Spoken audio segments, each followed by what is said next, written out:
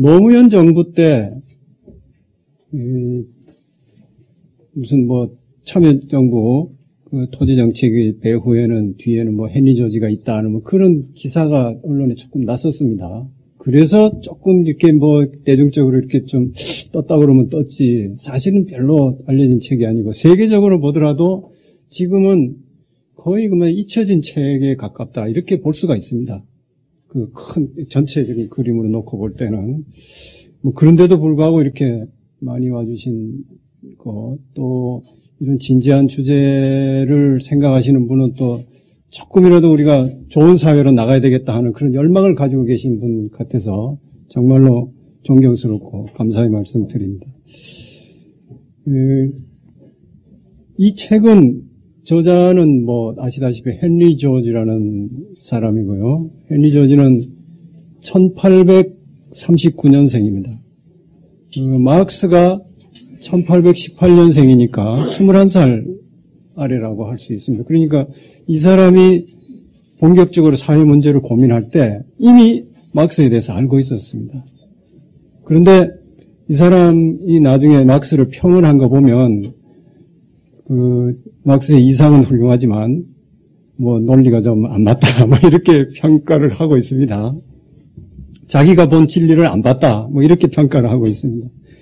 그 막스는 또 반대로 그 이런 시도를 그 헨리 조지와 같은 이런 사상을 자본주의가 마지막으로 지금 한번 해보는 거다.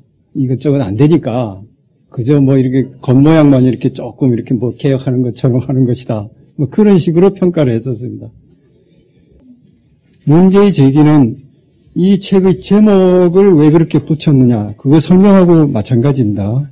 제목이 진보와 빈곤인데 여기서 진보는 진보다 보수다 하는 그런 의미가 아니고 사회 발전입니다. 경제 발전, 사회 발전, 뭐 경제 성장 그런 것입니다. 사회는 진보하는데 발전하는데 그렇다면 상식적으로 과거에 비해서 헤니 저지가 살았던 19세기가 아주 눈부신 발전을 했는데 그렇다면 사람들이 가난해서 다 해방됐을 것이다 라고 기대하는 게 정상이 아니냐. 그런데 왜 안 그러냐 이 말이죠. 그게 문제의 제기입니다. 왜 안 그러냐? 경제 불황이, 불황이 왜 발생하느냐? 우리가 지금 저 미국발 그 금융 위기 때문에 경제 불황을 겪고 있지 않습니까? 세계적인 불황을 겪고 있지 않습니까? 이것이 뭐 요즘만의 문제가 아니고 그 당시도 그랬다 이 말이죠. 19세기도 역시 그랬다 이 말이죠. 왜 그러냐? 이 토지 때문이다 하는 이야기가 여기 나와 있습니다. 예, 그, 그, 우선 그 정도로 하고 그래서 자 답이 나왔다 이거죠. 뭐 때문이냐? 토지 때문이다. 지대 때문이다. 사람이 가난한 거는 사회 생산의 상당 부분이 토지 대가로 돌아가기 때문이다. 그러면 어떻게 할 것이냐? 인구 증가가 부의 분배에 미치는 효과.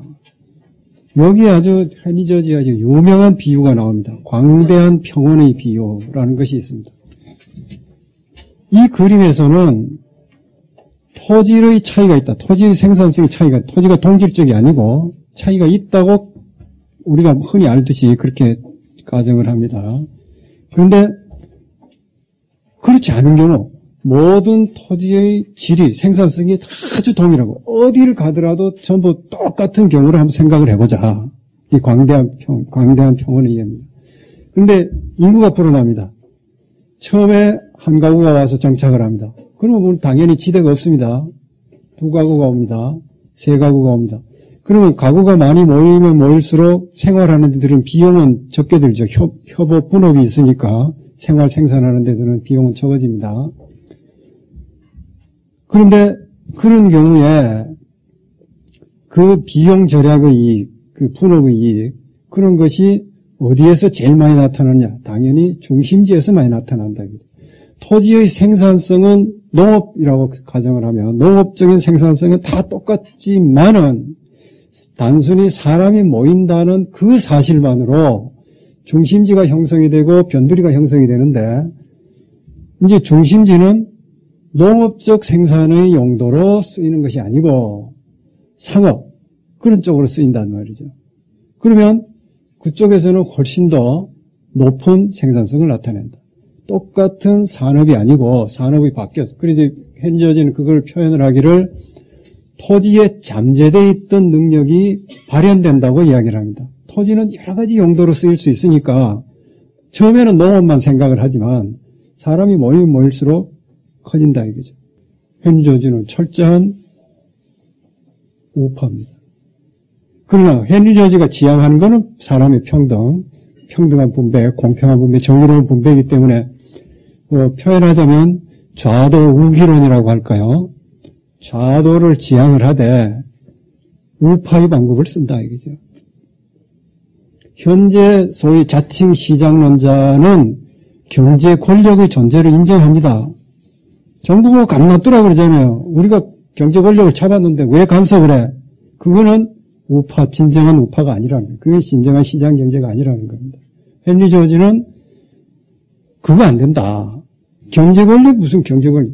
이 자연의 법칙, 움직일 수 없는 법칙, 거기에 따라서 경제를 운영을 하고 그래야지 뭐 권력을 가졌다고 말이지 무슨 뭐 기여도 안 해놓고 노력과 기여도 안 해놓고 대가를 차지하느냐 그거 안 된다 이렇게 보는 것이죠.